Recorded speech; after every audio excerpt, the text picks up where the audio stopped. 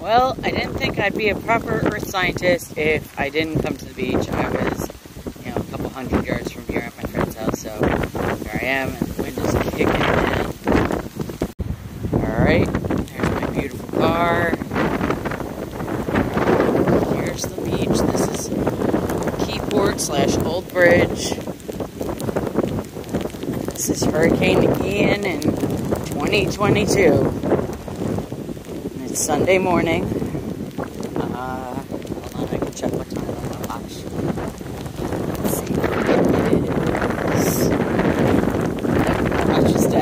Alright, well.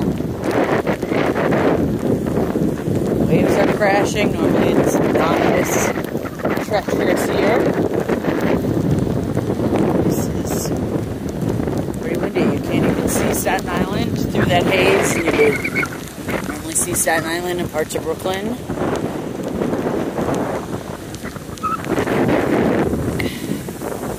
Jersey coastline.